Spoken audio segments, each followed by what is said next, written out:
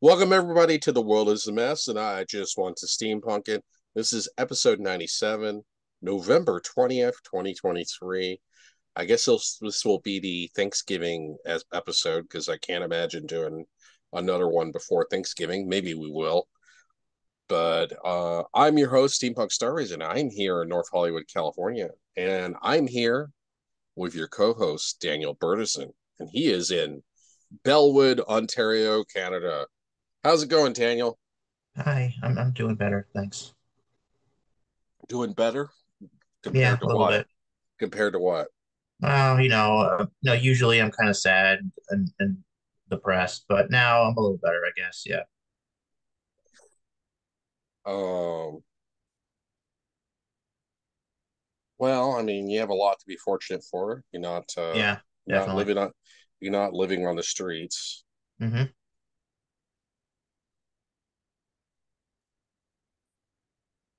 But yeah, I got a little bit of a different setup this week because I changed out the end table for this steel mesh end table and it's lower. So I had to point the webcam up. So now it's facing up towards me. But, and I got my wireless keyboard right here. Mm-hmm. But yeah, I guess the first order of business. Um, I went and saw the Marvels yesterday. Yeah, did you like it? Nah, it mostly sucked. Uh, I, I agree. Spoiler, I agree. spoiler, spoilers ahead for those of you who haven't seen it, but it's been out for like a week. So if you were going to see it, you probably would have already seen it by now. Mhm. But yeah, I um on a scale of one to ten, I would give it a four. And the only thing that makes it a four is the post credit scene. That's why I said spoilers ahead. But the overall gist of the movie was that it had some pacing issues. There were times where I got bored watching it. Uh, I couldn't imagine watching it on B-Flex because I would have probably just paused it because I would have gotten bored. But it was really slow paced in the beginning and there wasn't a lot of explanation. It was really poor screenwriting. Like they're on the moon, they don't really explain why they don't have spacesuits. You would assume if they were on the moon or it looks like the moon, uh, they should have spacesuits. Uh, that there's just no explanation. And the actress who played the villain, she just she had a hard time acting. She just had the same cheesy grin on her face. She had a kind of a the the the actress who played the villain. She seemed very. I mean, the the character, the villain, seemed really weak. So when you have a movie with a weak villain, that really hurts the story.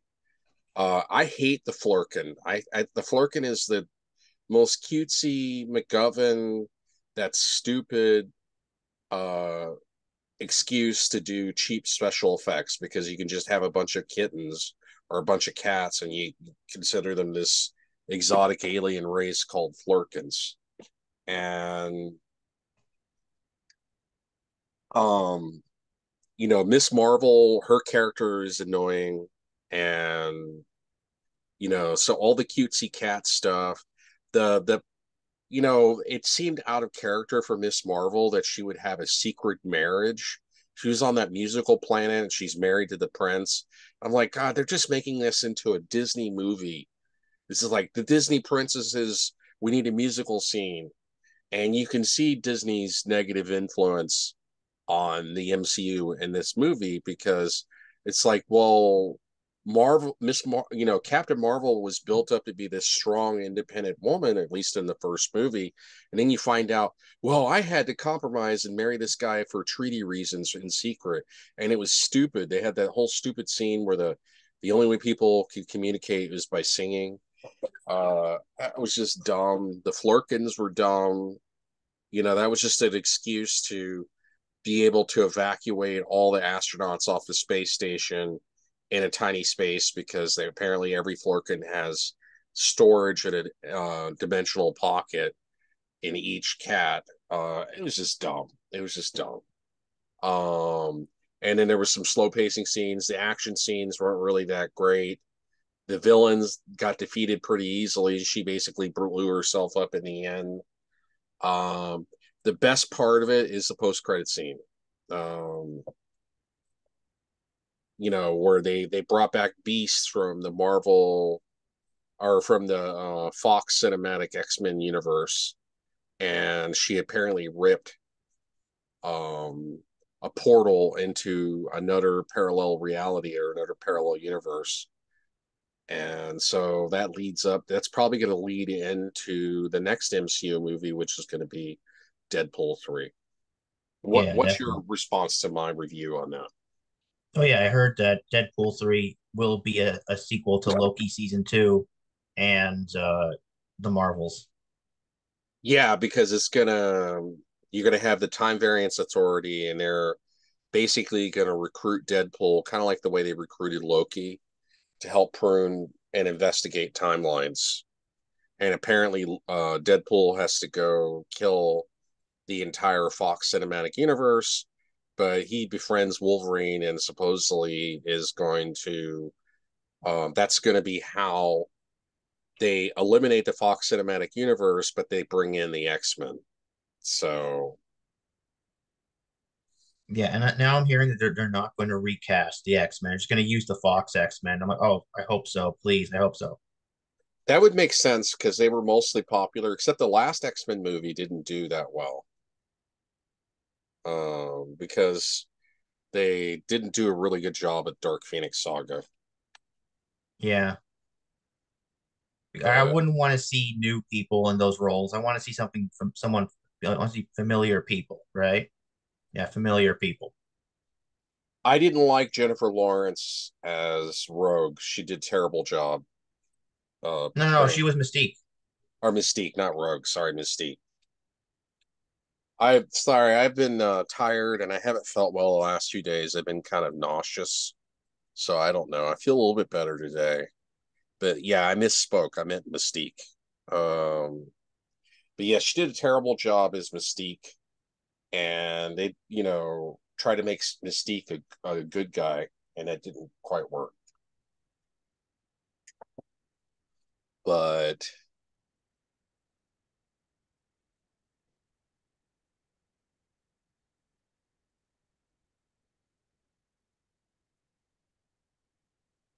see. I mean, I would say the Dark Phoenix Zone, the last one, was kind of almost mediocre. I would I would classify it as almost mediocre, but it was definitely disappointing. But what did you think of X Men Dark Phoenix? Uh, yeah, it was mediocre.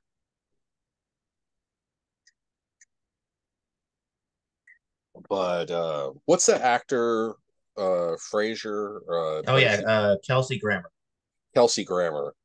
Uh, Kelsey Grammer did a really good job uh, portraying Beast, and so I'm glad that they brought him back. Although I heard this time around, because he's getting older and more feeble, that he just basically did motion capture and provided the voice because uh, that was definitely CGI.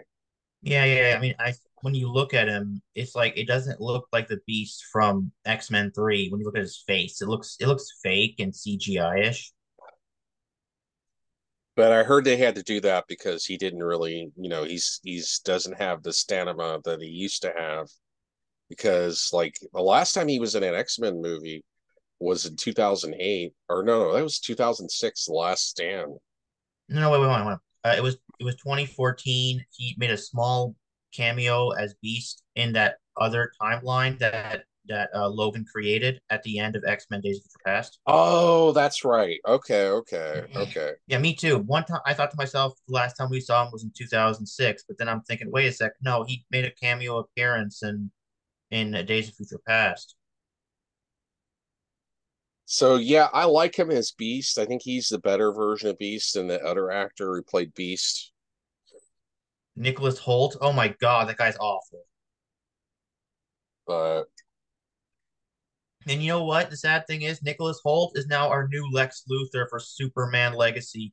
Th- this just in. I could that could work. Oh God, I can't stand that actor. I don't like Why do Nicholas why do you not like the actor? What's what's what's wrong with the actor? I, I just I just don't like him. He just first of all he re he replaced Kelsey Grammer in X Men Okay, uh in X Men um first class. First Class and Days of Future Past. And I know Kelsey Grammer couldn't play him in the '60s and '70s, right? But I just don't like the actor. He's annoying to me. You know, uh, Fair enough, fair enough. But it's just like he's gonna be our new Lex Luthor. Oh come on, there's I plenty of I didn't know about that. there's yeah yeah. Interesting. Nah.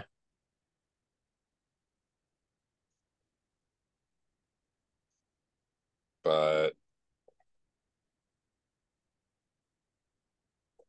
yeah, I mean, uh, an interesting thing is with the Marvels movie bombing because it's only made as of this date, November 20th, it's only made 161 million worldwide. And in its Is second that weekend, bad? what? That's bad? That's two weeks box office Yeah. gross, 161 million. That's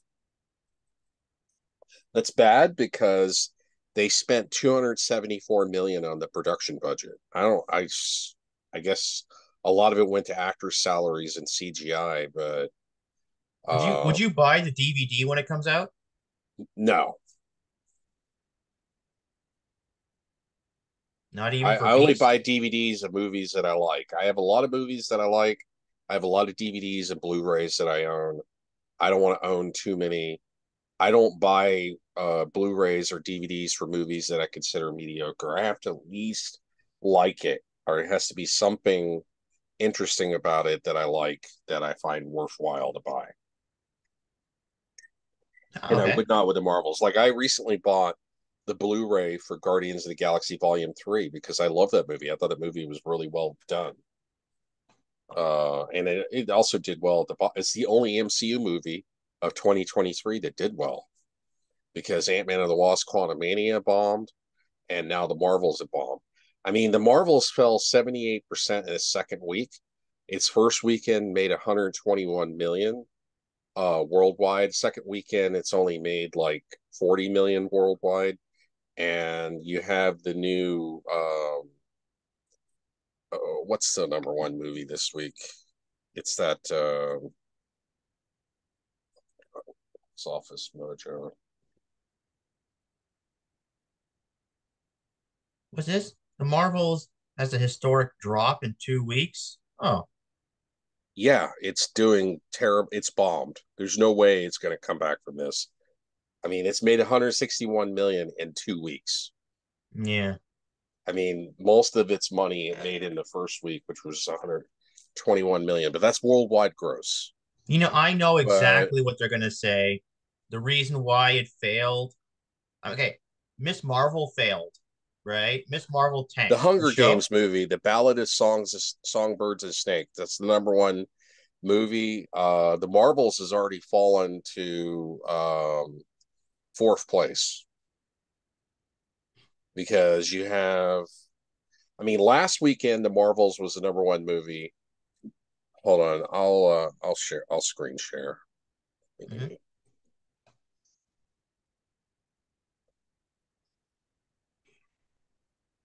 Hold on.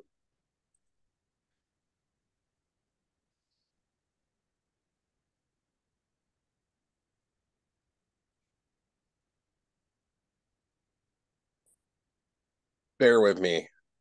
Yeah, sure. Okay. I like your cookie trays in the back. Cookie trays. Yeah, I used to. I used to. My mom used to buy those types of cookies. I used to own those trays. No, those are you know I have like computer parts in those. Those are like little toolboxes.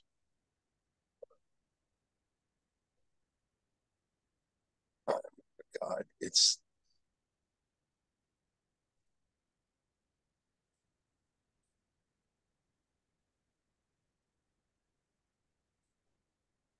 hold on. It won't bring up that window. Oh, I need to close Skype. You got too much bullshit. There we go. It was too many windows. I had too many windows open. All right, can you see that? Yeah, The Hunger Games. Yeah, The the Hunger Games, the. Ballad of Songs of Birds, but people said that movie is bombed as well because this was like another two hundred fifty million dollar budget movie that it needed to open with more than just forty four million. But it's the number one movie this week. Last week, Marvels, as you can see, was number one, but it fell to fourth place. It got beat by The Hunger Games, The Ballad of uh, Songbirds and Snakes, Trolls Band Together, which is some kind of cartoon, and a horror movie called Thanksgiving. And the Marvels fell to number four. So that's that's pretty bad considering that they spent 274 million on the budget. I think there's a UK tax break where they could where they they did a 52 million dollar write off, but even then that's that's a net loss. I mean, they've spent 220 million on the movie. Now I heard that they spent less than normal amount of money promoting it because because of the actor strike, the actors couldn't promote the film, which probably hurt the film. Um, but they still spent a lot of money on posters and commercials and advertising promoting it that way. And Mhm. even if you add like a hunt, be if you you give a conservative estimate and say they spent only a hundred million promoting the movie, that's 320 million just to break even. And the movie's only made half that, and it's already fallen 78%. Its second weekend uh domestic gross was only 10 million dollars, but I think worldwide gross was like 40 million. So that's that's pretty bad. That's pretty bad. So you're going to see less superhero movies coming out because, like, I think um, Warner Brothers is not planning to release any new superhero movies next year because every movie they released this year, uh, you know, has bombed, and the there's only been one superhero movie this year that didn't bomb, and that was Guardians of the Galaxy three, and you could really argue that that's more of a sci-fi movie than it is a superhero movie.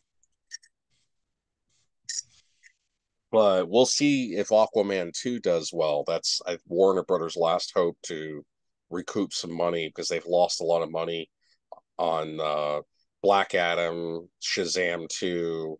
They lost a lot of money on The Flash. They lost a lot of money on Blue Beetle. So they've had bomb after bomb, and Marvel MCU is starting to be the same way. I mean, the Marvels is going to be probably the first Marvel movie to lose money.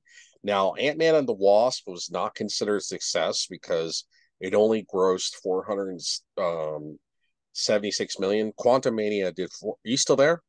Yeah, I'm here. Okay, Quantumania grossed 476 million worldwide. Um, you could argue that maybe that movie broke even, but you know, you don't spend hundreds of millions on a movie to just have it break even. And so that was considered a flop, although it was you could argue that it's more of a light flop compared to the Marvels or compared to Shazam 2 or compared to um, Black Adam. Although Black Adam was released last year, but yeah. you're just talking about movies released this year. But that's caused Kevin Feige, Kevin Feige, and um, Disney to panic, and they've canceled the release of all their movies next year except for Deadpool three. Yeah. So if you look at the the roster for what's coming up next year as far as MCU movies, there's only one, and that is uh, Deadpool three. Now, um, Madame Web is a totally separate Sony verse movie, so that really has nothing to do with the MCU. That's a yeah. Sony. Sony is doing their own multiverse now because multiverse is a big thing, right? Yeah. What I'm hoping for is, okay, God forbid, when Secret Wars comes out, you know, have and, Ma- ever, and Madam ever, Web looks terrible, by the way. What I do know. you think? What do you think I think the, the green Spider-Man, the green evil Spider-Man is going around the multiverse killing Spider-Man is pretty interesting. I was talking about I know, but Joe. the trailer didn't inspire that out of me. I just I saw a bunch of women who are guess Spider Women. That she doesn't even look nothing like Madame Web Madam from Web. the comic No. books. So, let me bring up. Hold on. I'm gonna do another screen share first. Yeah, Madame Web is old, man. She's old. Well, her her she's like hooked up to in the comic book. She's like hooked up to technology. Yeah. She's able to see the future, so she's very physically feeble and very elderly, but she's got like a henchman that work for her, and she's able to predict Spider-Man's moves ahead of time. Yeah. Uh, Ma- Madame Web is like three million years old. hold on. I don't know if you've seen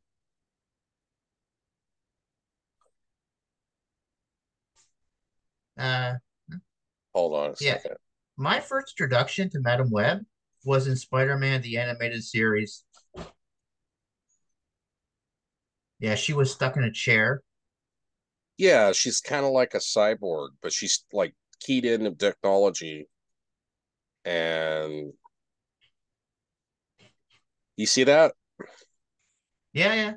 It's Amazing Spider-Man issue. I wish I had that key issue. It's starting to become become I heard that she was a bad guy. Oh, hold hold on. Yeah, May, she was a, a bad guy. She was a reoccurring villain in Spider-Man, and she first appeared in Amazing Spider-Man issue two ten from nineteen eighty.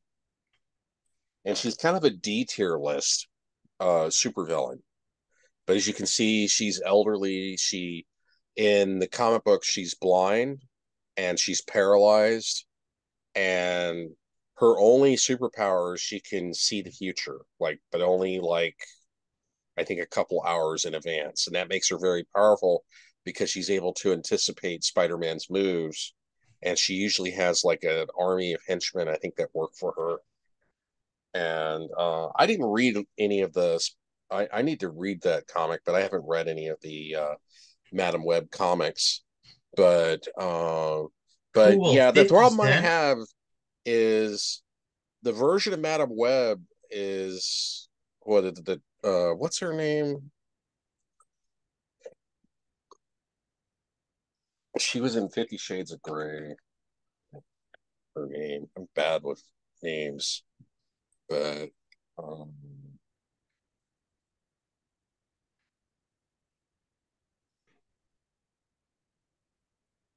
she doesn't look any okay.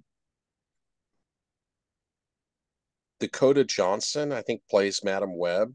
She looks nothing like. Yeah, Dakota Johnson. I'm looking at the credits here on Internet Movie Database. Dakota Johnson plays Madame Web. Oops. I clicked on the wrong thing. Here, I'll screen share. I'll make it more interesting. So Dakota Johnson plays Madame Web. I mean, I guess this is going to be like her origin story before she becomes disabled, but she looks nothing. She's young, she's attractive, and she looks nothing like the character that she's based on. And it and they kind of portray her as like a superhero. She's using her ability to help the other Spider Women from the multiverse fight some villain that sort of looks like a dollar store Spider-Man. So um it's nothing like the comic books. And they're trying to make Madame Web into a hero. And I just I don't really I'm gonna start stop screen share. I don't really like that because they did the same thing with Morbius and it just doesn't work. When you take a well-established villain and you totally change them up and you turn them into an anti-hero or a superhero when they weren't intended to be that way. Um, the Venom movie was a little bit better because Venom in the comics started out a villain and then became more of a hero anti-hero type character. The character evolved over time. But with Morbius, he's always been a villain. And the same thing with Madame Web and they're turning her into a superhero and she's just some she's just a uh, Dakota Johnson, the hot chick from. She's just a hot chick from Fifty Shades of Grey. So we're going to release this on Valentine's Day because maybe we'll get all the Fifty Shades of Grey fans to come see the movie. It's just really dumb, and I didn't really like the trailer. I was, it, it felt like a low budget, you know, like uh, a lot of people described it as looking like a low budget CW show. You know what I'm saying? Mhm. What did you think of the trailer? You don't have to agree with me. Um, You could totally disagree with me, and I'm okay with that. well, no, no, I I thought it was. I mean, I didn't like it. I didn't dislike it. I just thought it was okay, really. I mean, I mean, it's it's the Sony verse. I'm into the MCU. Well, I mean, I get Um, what Sony's trying to do because Sony only owns the rights to the Spider Verse characters. They only own the rights to Spider Verse, Spider Man, and all the, the like the Sinister Six and all the C and D tier list Spider Man villains. And you know, they Sony knows that if you do a superhero movie, sometimes they make a lot of money, sometimes they bomb, but sometimes they make a lot of money, or at least they had been up until 2023 and so they want to do superhero movies, but they don't really own the license to any superheroes. So I can almost imagine what it's like for those executives behind the scenes talking about, man, we need to do a superhero movie, but we only own Spider Verse characters. Well, let's take these villains and recreate them as heroes, and they and they're doing the same thing with the with the uh, um, Kraven the Hunter they, they got a trailer for that. That movie is also being released next year. Let's see, that looks stupid as well. Yeah, Kraven the Hunter Hunters coming out in 2024. They've already released a trailer for it. It looks really dumb. You know, I guess it's going to be Kraven versus the Rhino because Rhino makes a cameo appearance in the trailer. You see like his hand changing gray. And so that's just going to be dumb and again they're take they're making the same mistake they're trying to take a character like kraven which is one of spider-man's i guess i guess that's one of his rogue gallery one of spider-man's rogue gallery one of his more a-tier villains like morbius and dr octopus and green goblin the problem is is kraven is more interesting as a villain when you try to take a character from the comics that's a well-established villain and you turn them into try to turn them into a superhero, it just doesn't work. They did the same thing with Morbius. Uh, now Venom is a little different. The first Venom movie was pretty entertaining because you know he is kind of an anti-hero in the comics. He's sometimes a villain, sometimes he's an anti-hero. But um, you know, it didn't work with Morbius, and that's why that movie bombed. And it did, and it's I don't think it's going to work with Kraven the Hunter and Madame Web. So this is pretty lame lineup of Marvel movies next year. You got Kraven the Hunter, Madame Web, uh, with the exception of Deadpool 3. That looks like it will be amazing. yeah, definitely. But so anything And else like in you, like news you want to talk about? like okay, like um at the end of Deadpool 3, it's rumored that um Wolverine and Deadpool are going to end up eating pizza. They're going to be in a pizza place, and there it and then the camera pans up. We see it's Tobey Maguire, Spider Man. So they're going to be in the Tobey Maguire Spider Man universe eating pizza. You know, Wolverine and Deadpool. Well, that'll be cool if they have that Easter egg in there. I'm, I'm all for that. Yeah, because we haven't seen we haven't seen the Tobey Maguire Spider Man universe since 2007. So it would be nice to see it again, even Yeah. if it's for like a quick bit.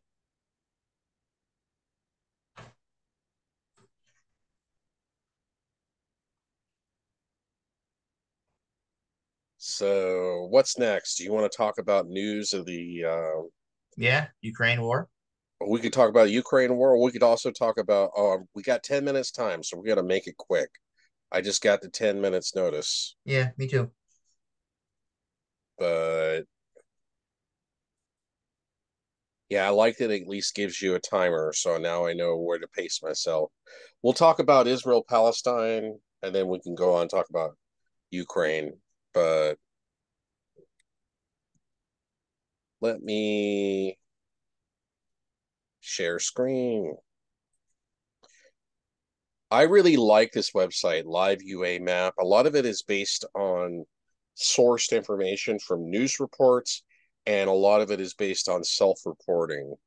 Now, you don't get a hundred percent accurate view of what's going on in the Middle East. Like there's crazy stuff like owner of the ship, a Galaxy leader, the ship is currently detained.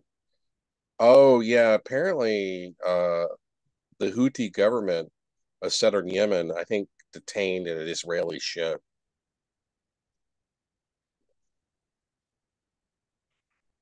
No, yeah. Or there's something related to Yemen's Minister of Information.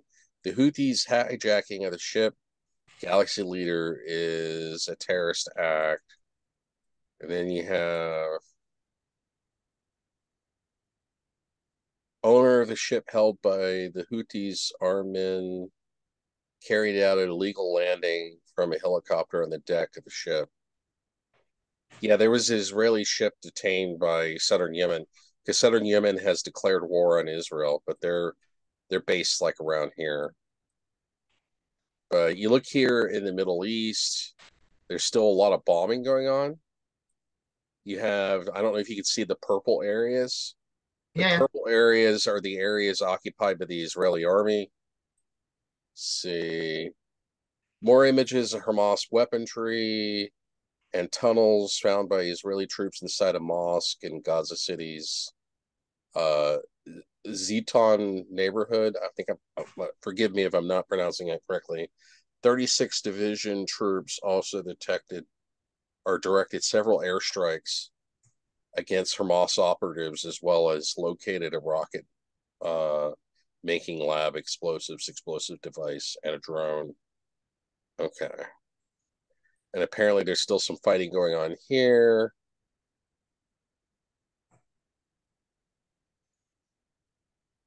Al Quds brigades. Uh, we were able to cause six soldiers to be killed or wounded during clashes. So there's still some fighting going on in the vicinity of Gaza City, uh, with over 11,000 civilians, and, and the Israeli Air Force continues to bomb relentlessly in the north and the south.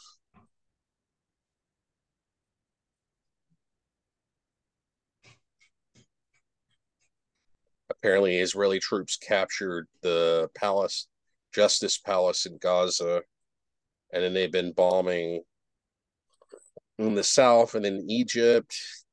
Egyptian Minister of Health, we continue to receive wounded, injured, and sick Palestinians to provide medical care.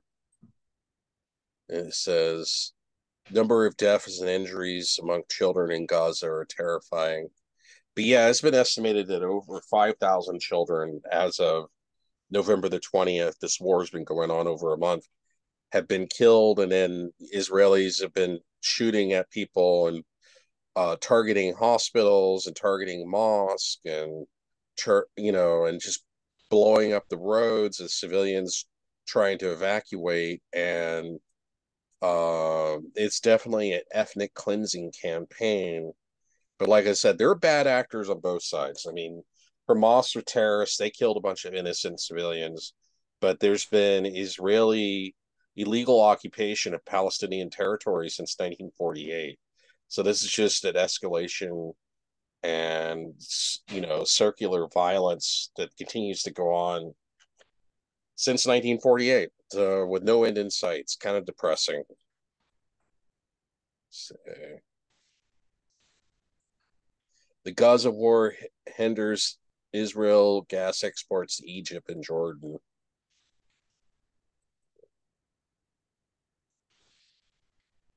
Anyway, so we only got about five minutes left. So, do you want to switch to talking about you? Uh, before I switch to talking about Ukraine, do you want to talk any more about the Israeli Hamas conflict? They've got basically Gaza City mostly occupied, mostly surrounded, and the war is still ongoing and the bombing continues. And the civilian yeah. death tolls up to 11,000, including about 5,000 children. So, That's any rough. last comments before I talk about Ukraine? Oh, uh, we're running out of time, man. We got no, no, nothing, nothing. It's okay. Yeah, yeah. You need to be fast on your feet, man. Yeah. Like I said, we get we're running out of time. All right. Yeah. No, so, no, no last comments on that. that. No. I mean, you can also see that Israel's been fighting skirmishes on the border of Lebanon as well with Hezbollah. And then the United States has got a carrier group out in the Mediterranean. But anyway, so if you have no last words, I'm going to go on how and talk how about many Ukraine. people do you think are dying in this war every every second? I don't know. I Right. Impossible to calculate or predict that. So, but we're running out of time. We got less than three minutes. Let me give a brief update on Ukraine. Uh, oh yeah, we yeah we have two major wars on two fronts: Ukraine and Israel. Well, I mean, we're technically the United States is fighting, and its Western allies, which include like Canada, are fighting a proxy war with Russia. I mean, they're you know European Union countries, uh, Canada, United States, or um, arming and equipping and training Ukrainian soldiers, and so fighting a proxy war of Russia, and then we're providing um, weapons to Israel and equipping them and using Israel as a proxy in the Middle East. So it's two proxy wars. But as you can see, the front line really hasn't changed that much. Um,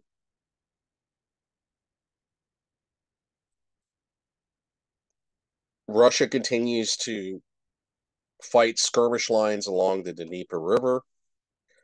Now, there's some reports here just south of Kherson that Ukrainian forces have created a bridgehead because the red is where Russia occupies, and then the the white area and the gray areas are what the Ukrainian military occupies, and the blue is of course water. But yeah, there's really you know, considering that Ukraine launched a counteroffensive like back in June, and they've only taken this small amount of territory, it's pretty much a stalemate at this point. And there's been heavy bombing. Russia continues to have air superiority. They don't have absolute air superiority, but they they have air. I shall say more like air dominance. They have air dominance because Ukraine doesn't have much of an air force or a navy um, if you look here at Bakhmut, Russia still occupies Bakhmut, and they still occupy Soledar. Russia took these two towns earlier this year, about six months ago. And then down here, there's been really heavy fighting. Uh, Af- uh, Adivka, Adivka, there's been really heavy fighting. The Russian Air Force is bombing and you got heavy skirmishes right here. Ukrainian military had 54 combat engagements with Russian forces. That's a lot. This is just within the last 24 hours. So there's heavy fighting. Russia's trying to take Adivka, and they're launching a pincer movement. You can see here Russian forces are cutting off this road, and they're launching two pincer movements, and they're trying to encircle Ukrainian forces around Adivka. So that's the main development as far as the front line is Russian forces. You can see they're in the red, what they control on the map. They're doing pincer. Okay, we got less than a minute. But anyway, still stalemate, still no end in sight. Thank you very much for joining us. This has been The World is a Mess, and I just want to steampunk it, episode 97, November 20th, 2023. I'm your host, Steampunk Star Raisin, and you're here with co-host Daniel Bertison in Belwood, Ontario, Canada. You have a nice day. Now we'll see you 25 billion years. Bye.